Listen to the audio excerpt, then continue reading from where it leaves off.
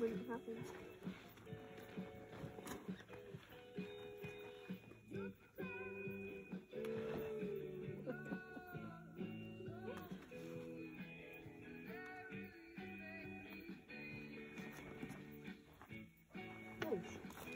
I saw Liam start to chop up.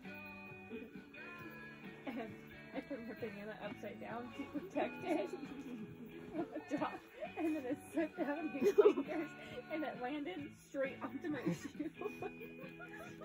That's the banana. That's awesome. Oh yeah. I was like, sure, go ahead. And I was I like, oh, she's asking me because You found him?